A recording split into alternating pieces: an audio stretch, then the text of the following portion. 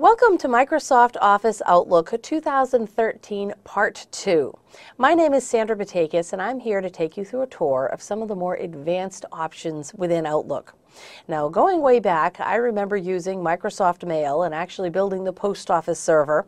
And then we suddenly got this brand new program called Outlook. And I remember the day, I remember it very, very well, because someone had asked me to learn it inside out and backwards and to go ahead and teach it. And I remember that day thinking, I can't believe all of this is in one application. Everything from contacts to schedule to email. It was so nice to see everything in one spot. Well, I'm here to tell you that was certainly a long time ago because that was the first version of Outlook that it had released. But I have had the pleasure of using Outlook every day just to organize my life, my email, and anything else it is that I do through this wonderful program. So throughout the years, I've had a chance to not only use it and teach it, but to see it grow into the great program that it is today. So let's go ahead and take a look. In this lesson, we're going to learn about some of the advanced message options. What this means is we'll learn where those advanced characters and objects are, how to find them, and how to insert them into a message. We'll modify some message settings. We'll learn about their properties and the different options available to us, as well as how to use automatic replies. Topic A, inserting advanced characters and objects. In this topic, we'll get a chance to learn how to insert a hyperlink, some word art, some interesting equations, a few symbols that aren't otherwise on the keyboard, some tables, some charts, look at some of the different chart types, and of course we'll look at some quick parts. All in all together, how to dress up an email message and insert other elements other than just a basic message. In order to insert a hyperlink, we have within our insert menus and some of the options an ability to add it. Now, there's two different ways really to insert a hyperlink. One of them is to actually type in the hyperlink itself. And as soon as you hit the space bar, in most cases, you're going to see that it turns automatically into a hyperlink. Well, the big difference between that and a standard hyperlink is you're going to see here that I had to add the HTTP prefix in order to get there. And then the other part is to insert a hyperlink ensures that the click through is going to be exactly where you need it to be. Also, there's a number of different options when you use the hyperlink option. Again, typing this whole thing out is one, but if you wanted a little tag to explain why you'd want to click there, if you want to add any amount of help text, etc., then if you use the hyperlinks option, you will have those other choices and options to add in. So an example, if we just hover over the hyperlink, it tells us where it is that we're going. If you really want to get your point across and grab someone's attention, word art might be one of the ways that you do that. So when you insert word art, you're going to see that it does give you this nice little graphical boundary. And I'm just going to point out and then erase it a little bit you'll see that we have this icon right here. So this kind of hovers around when the word art is selected. You'll see it's selected because I have these little notches available. So that tells me there's word art. I can go ahead and click on that and get some word art options. This tells me how it's anchored in a message, and to be anchored means if you add and remove text or anything to a message, how is this going to stay? Is it going to stay at the top left, at the top right? Are you going to try to anchor it in the center of the screen? Also, we have our context sensitive menus. So you'll see here, because our word art is selected, and when I say selected, I mean as an object, we've got these little handles, then you'll see that drawing tools immediately appears, and you'll see we have everything from quick styles to the ability of changing different elements about the text. Now here, we have a chance to add different options. And when I say different options, I really mean, geez, let's go ahead and surround it with an orange border or a blue border or a black border, or to pull down this menu to get more options.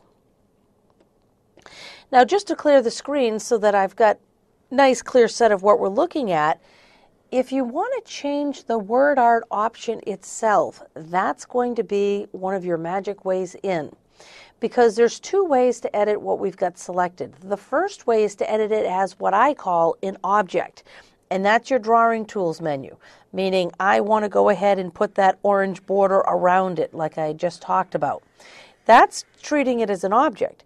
But what if in the word art you no longer wanted this type of word art, but you actually wanted the text that looks like it's in an arc? Or maybe you wanted text to be in this shape. So we're kind of modifying the shape of the word art itself using the word art tools.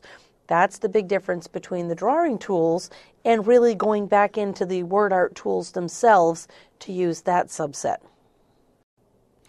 We can also add equations. So, not everyone uses equations on any regular basis, but there are certain areas, certain people, certain departments, certain job functions that really are basis for us to send equations on a regular basis. Now, if you were to think about some of the equations that you might write, you know, pi equals or e equals mc squared, you don't have those normal keys on the keyboard. So they become very, very difficult to type, again, because some of the more advanced equations realistically aren't standard keys. Now, we're not talking about 1 plus 1 equals 2.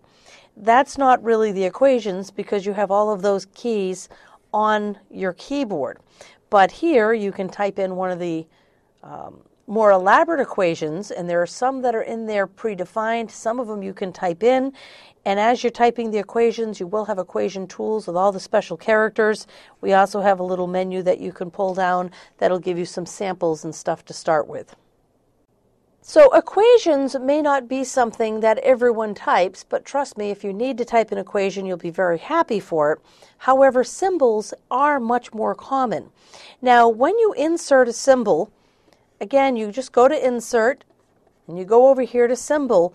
What you're going to find are all those unique symbols that aren't part of the US English 101 102 keyboards, meaning what about the euro sign? What about a copyright or a trademark sign?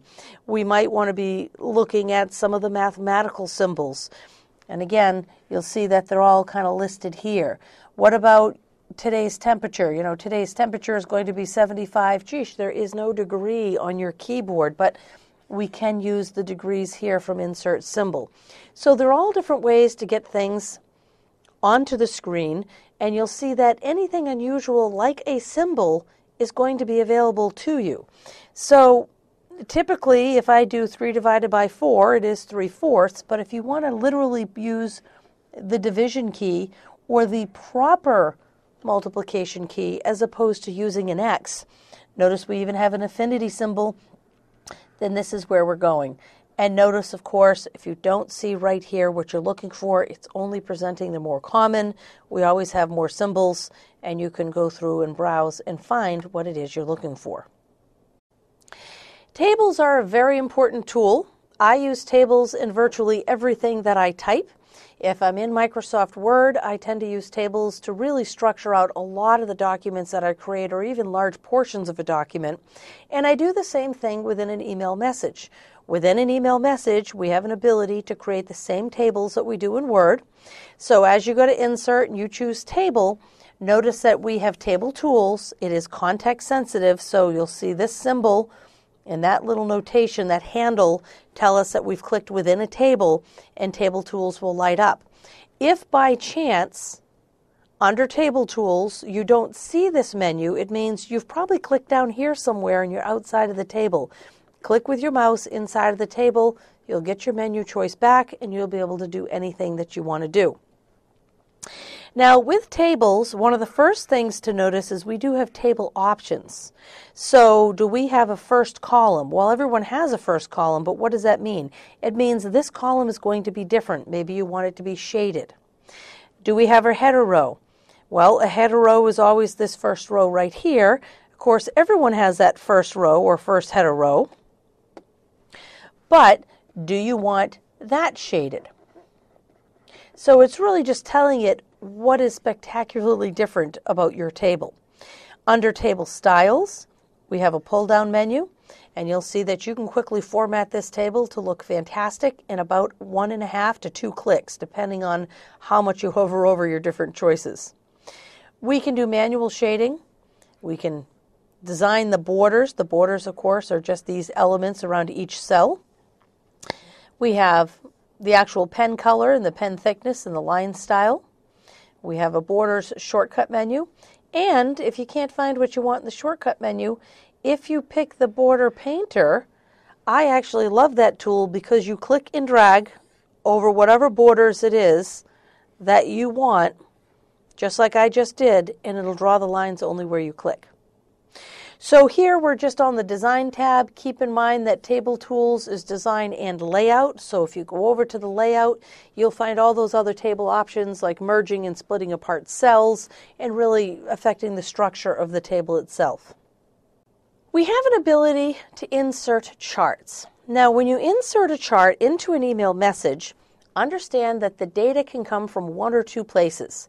You can either type in the data right there because it might give you a data sheet where you decide to type in pizza, the amount, soda, and the amount, and we can just go ahead and type in all the stuff that we want plotted and it will plot it. But if you have that information somewhere else, in another table somewhere or in an Excel spreadsheet, we can also create a chart based on that data just by even doing a simple copy and paste from table to table. So what we have here under chart tools is we've gone to insert, we've chosen chart. Notice we can add a chart element. So let's say I want a chart title, that would be an element. Do we want a legend? Do we want to take these pieces off?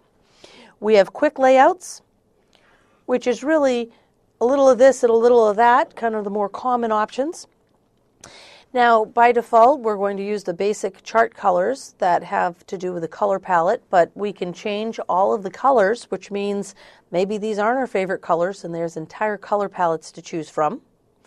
We have chart styles. So here we've got our starting point. I can tell because it's got the blue lining around the border, but maybe we like something that looks more like this. So in one click we can have that.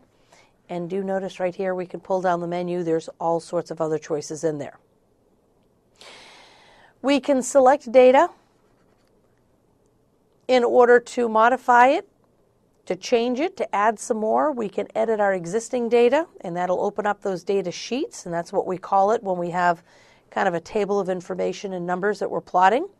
And we can also change our chart type. So changing our chart type might be from um, our column chart, which is what we're looking at, to maybe we want a bar chart, which is more horizontal in basis, we can do pie charts, but do keep in mind that different charts do have different reasons. So, in example,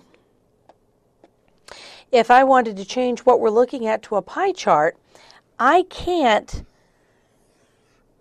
do more than one series. So if we were to pick series one, then it's only going to map those four segments on a pie chart. So I can't do series one, series two, and series three and then have each series subdivided or even by category.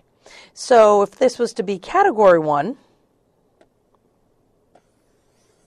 then you will see that, you know, I would have series one, series two, and series three, but only for category one. So a pie chart can only kind of take one subject and divide it down. If I wanted pie charts for this, I would have to build a separate pie chart for each one. So just understand that different charts have different reasons. I, over the weekend, was doing a plotter chart where I was looking for trends, where we just mapped a whole lot of numbers that seemed to be unrelated, but I was able to put all of that information in for a customer and then follow a trend to see how things actually related to each other. So again, just some ideas, simple charts, super simple. There's a lot of choices. You just got to know what it is you're trying to do. So here's just some of the examples of our chart types, the different designs. So here, you know, we've got our basic column chart, but notice in one click we can change it to virtually any one of the ones that we see in the list. I remember the old days where Yes, I taught charting for probably eight hours. We could do a full day of charting because I had to show them how to do the background, how to change the bars, how to add a title. There were so many elements to changing the look and feel of the chart. And now what we have is we have a menu and we click on the one we want. And if there's anything we want to change from there, we can fine tune it. Quick parts are fantastic. So if you find that you're doing a lot of things repetitively, and when I say repetitively, it literally is either a signature line, a disclaimer, or maybe it's the same typo ever. Now, what I like is I happen to do a lot of work with SharePoint. And what happens with SharePoint is I just type it so fast that it's always typed out like that. Well, the correct way to type in SharePoint is to capitalize P and point, but it's still considered one word. So that's the proper way to denote it. So instead of me correcting myself every time, typing it out, backspacing over, or having it find misspelled, that was actually the other one. It was always marked as misspelled. I put in an auto text and an autocorrect that said, if I type this, automatically type it into that. And I could shortcut that. Um, now, when we go into auto text, it is a little different than autocorrect. Autocorrect says if I type it and when I hit the space bar, automatically change it to this. Well, now what I did is I created, because I type it so often, I created an auto text that says if I do a capital SP, as soon as I hit the space bar, it automatically turns into SharePoint server fully spelled out.